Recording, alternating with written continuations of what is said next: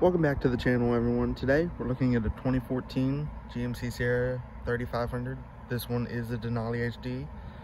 The color on it is Sonoma Red Metallic and it has a jet black interior. Came to stop by and look at it today because as you know I like dualies. I've been looking for one and this one actually is in the body style of my current truck which is my favorite GM body style. Comes in this beautiful Sonoma Red Metallic as I said. It's got a leather interior. It is a 2014, so it is an LML. Comes with B, BW, uh, gooseneck.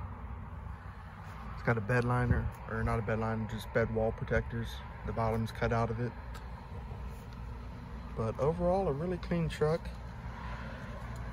I really dig this body style, as I said. Got all the chrome accents, as you can tell because it is a Denali. Let me know what y'all think of this truck. Do y'all like it? Would y'all like to see a truck like this on the channel?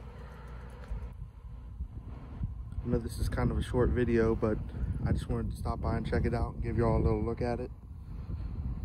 But uh, as always, leave a like, comment, subscribe. Let me know what you want to see next. And I'll see y'all next time. Peace.